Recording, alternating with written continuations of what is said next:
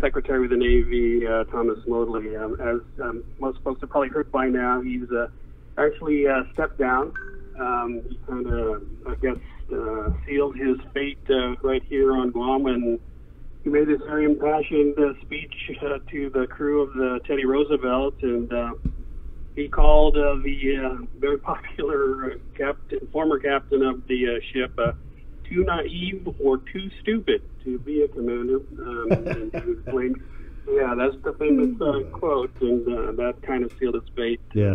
So, Defense Secretary Mark Esper uh, announced that he had accepted their resignation, and that he has appointed Army Undersecretary Jim McPherson, who actually happens to be a retired admiral. Oh The wow. next uh, acting. Uh, Matt Ness, you know this uh, this story was the epitome of a rapidly evolving uh, situation. it was rapid.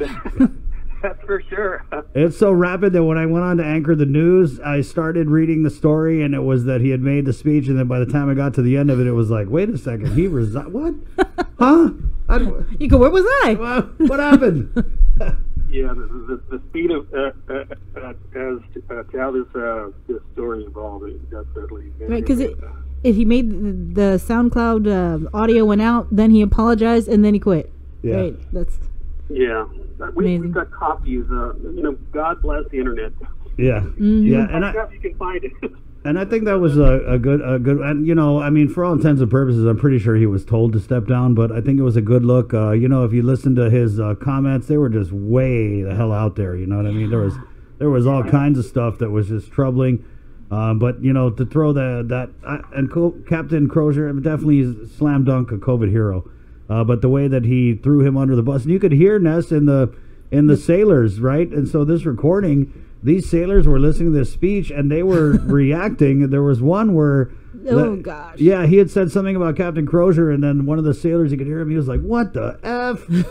yeah, we had to. We had, we had to. yeah, yeah, we did. yeah.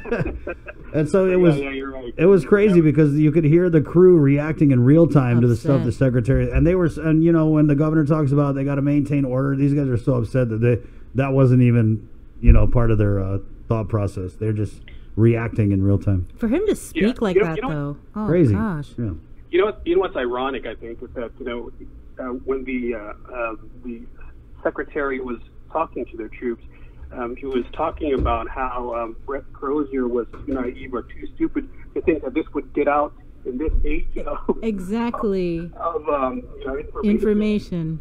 And then that's how this came out. It's karma. true what that what, what was that he said it's because he wasn't naive and dumb and stupid and Yeah, Uh, that's, uh, So what's what's going on with um session? Are you hearing anything like what's going to be on the agenda? Well, no, not yet. Uh, I, I, I was thinking they might be in caucus, but I heard uh, Senator Teresa on, on your air, so I'm not sure what the deal is. Uh, we've got in uh, our uh, requests for updates on what will specifically be on the agenda. Uh, I was listening to Senator Moylan uh, talking earlier, and uh, he doesn't know either, but he's got an idea based on you know the, the people, the sponsors. Um, he's got an idea of what he thinks will be on, on the agenda. But as as for the uh, official agenda for tomorrow's session, uh, we, we we don't have it. Wow, I'm I'm I'm anticipating um, that this is going to be one to watch, and I wonder if there's going to be a power move made. You know, I wonder if these uh, these and it all comes it's the math, right? So uh, it's always been the case where you know Speaker Tina has her gang, and uh, you know they kind of just ram stuff through.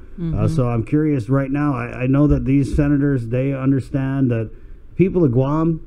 We're staying home, and we don't really have anything to do but watch you. And so I I think, hope it's streaming. yeah, I, I think they're I think they're well aware that all eyes are going to be on Mm-hmm. them, especially among people that are in need right now, and there's a lot of them uh, that are in need of uh, of help. And so, yeah, it's going to be a very uh, you know for their it's going to be a very critical session. Absolutely. You can watch them on television, or you can watch them um, streaming on their YouTube channel. So for for those of you that are out there listening, Yeah, but as soon as we get the uh, you know a, a, a copy of the agenda, then of course we'll share that. Yeah. Yeah, yeah. Okay, Nessa, is anything else uh, you want to add? Anything else you're working on uh, for today that you want to share with us? Uh, that, that's it for now. He- Don't But you know it- he has enough? That's plenty. No, I know that's plenty.